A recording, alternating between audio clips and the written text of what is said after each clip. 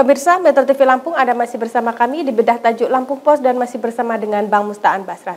Oke, Bang An tadi disebutkan bahwa untuk pasokan kedelai lokal sendiri masih kurang. Nah, sebenarnya bagaimana Bang untuk stok dan uh, pasokannya di Lampung seperti apa? Oke, kalau seluruh Indonesia kan kebutuhannya memang 2,9 juta ya. Hmm.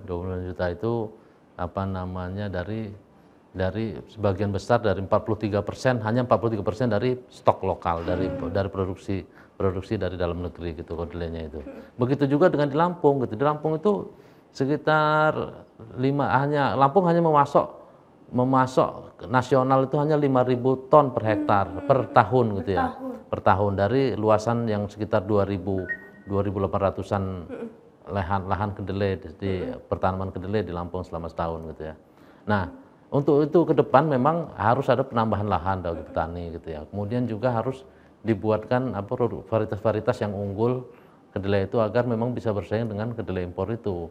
Agar agar memang petani membuat pilihan itu dari kedelai produksi petani kita sendiri gitu pengusaha tahu tempe. Tidak tidak bergantung lagi dengan uh, apa namanya impor-impor kedelai dari dari Amerika dari Brazil biasanya seperti itu ya Makanya seperti itu. Nah, kemarin kan belum lama ini Mendak dan Menteri Pertanian juga baru saja oh. melakukan penanaman kedelai. Nah, ya. sebenarnya kalau uh, dilihat dari potensinya sendiri, Bang, bagaimana Bang potensi untuk penanaman kedelai ini di Lampung, Bang? Sebenarnya penanaman, penanaman kedelai itu memang hmm. bagus, bisa bisa aja diolah di di tanah di Lampung ini ya, hmm. gitu ya. Cuman memang perbandingannya perbandingan kedelai sama palawija lain itu ternyata uh, produktivitasnya, panennya itu lebih lebih banyak palawija lain. Makanya oh, petani misalnya milih uh, apa namanya jagung. jagung gitu ya karena jagung ternyata bisa lima ton per hektar hmm. gitu ya kedelai hanya 3 sampai 3 sampai 4 ton per hektar gitu. makanya mereka hanya memilih ke jagung gitu hmm. untuk itulah memang Menteri Pertanian dan Menteri Perdagangan kemarin hmm. itu mendorong petani untuk menanam lebih giat menanam kedelai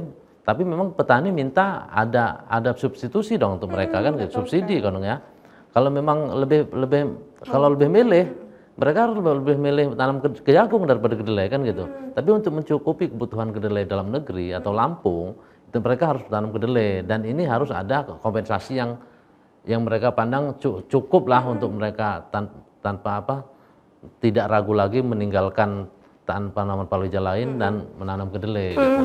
Sebenarnya persoalan kedelai juga cukup kompleks ya bang ya dari kualitas tadi, kemudian juga dari hasil produksi dari kedelai sendiri. Nah, terus bagaimana bang dari upaya pemerintah sendiri atau mendorong mengejut petani ini supaya meninggalkan palawija dengan menanam kembali kedelai gitu bang? Nah itu sebenarnya tidak bisa, tapi memang uh, apa harapannya sih pemerintah bisa membuat misalnya kelompok-kelompok tani ya, kelompok-kelompok tani itu bisa bergilir misalnya gitu ya ini juga ya, kalau dalam sistem pertanian itu kan memang pergiliran tanaman itu kan juga bisa membantu mengurangi hama penyakit gitu segala macam. Jadi misalnya ada lima kelompok, ini lima kelompok ini digilir aja misalnya. Kelompok satu kedelai, kelompok dua jagung, kelompok tiga misalnya kacang, kelompok empat misalnya uh, kacang panjang atau bisa juga kacang, kacang kedelai, kacang hijau gitu ya. Nah ini harusnya dianu mereka gitu loh untuk untuk biasanya kan tidak ada sih petani kita ini yang punya lahan khusus nanam kedelai. Biasanya khusus nanam palawija. Biasanya di, dilakukan petani itu saat musim bera ya, musim istirahatnya sawah. Padi untuk mengisi itu baru mereka menanam palawija gitu.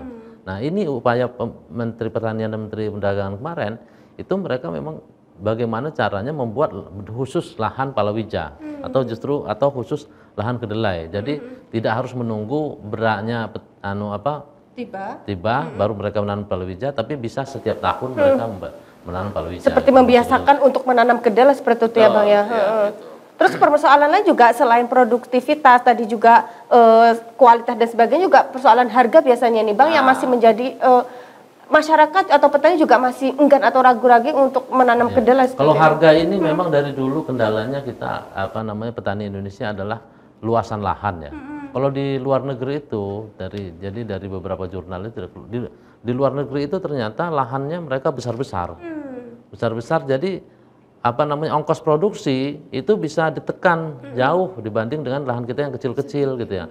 Jadi satu petani punya misalnya lahan satu hektar, sementara di sana di misalnya di Amerika atau Brazil itu ada satu petani 10 hektar. Hmm. Terutama ongkos produksinya kan lebih lebih murah yang 10 hektar daripada satu hektar gitu. Makanya itulah pemerintah mendorong untuk membentuk kelompok tani kelompok tani. Hmm. Jadi ada lima petani dengan lahan satu hektar satu hektar. Jadi di apa namanya budidaya bersama gitu ya. Jadi ongkos produksinya ditekan. Jadi mereka bisa 5 hektar di bersama dengan ongkos produksi tekan akhirnya hasilnya juga lumayan kan gitu ya. Ini memang ini memang jadi kendala ongkos produksi. Makanya akhirnya ongkos produksi ini terkait dengan harga produk kan gitu ya. Artinya harga produknya memang memang tinggi karena ongkos produksi tinggi. Hmm, gitu. hmm, hmm, hmm, gitu.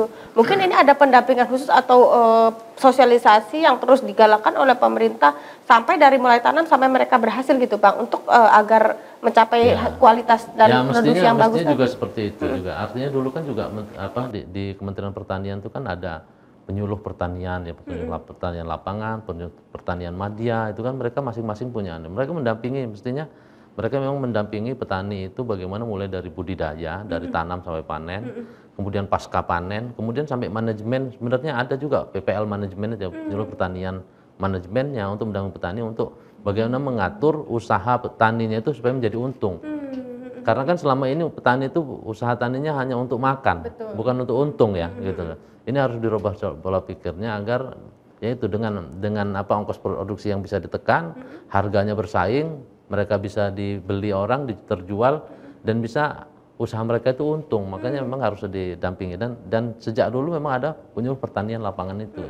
Cuman memang kendala-kendala ini kan apa namanya terkait musim mungkin ya, kemudian juga ah, bisa jadi banjir atau kering, kekeringan atau banjir, kemudian biaya, kemudian ada lagi misalnya apa namanya kelangkaan pupuk seperti itu kan segala macam. Makanya memang harus harus apa namanya sistem terpadu ya semua sektor untuk mendukung mendukung program ini gitu. Nah, kita kembalikan lagi kepada eh, pengusaha tahu tempe tadi. Iya. Bagaimana bang ketika nanti eh, misalnya produksi kedelai lokal kita sudah mencukupi, apakah dari mereka pengusaha juga sudah siap bang untuk beralih ketergantungan dari impor balik ke kedelai lokal itu bang? Dan itu harus mestinya juga harus pemerintah juga harus bisa mengarahkan itu dan ada subsidi untuk mereka gitu loh. Karena memang harus kedelai lokal ini harus sama kualitasnya dengan kedelai impor. Misalnya kan gitu. Harganya juga harus bersaing. Kalaupun harganya tinggi, pemerintah harus subsidi agar harganya bisa bersaing dengan kedelai impor itu gitu. Akhirnya para petani juga tidak lagi ketergantungan ke impor, ke kedelai impor. Jadi jadi mereka benar-benar menggunakan produk eh, produk petani Indonesia lokal, gitu ya mereka dengan begitu tapi memang mereka harus kan namanya pengusaha mereka juga punya mencari untung kan ya. Artinya memang pro- kualitas kedelainya juga harus bersaing petani petani lokal dan petani luar negeri. Hmm. Kalau target sendiri bang untuk petani di kedelai di Lampung ini berapa bang?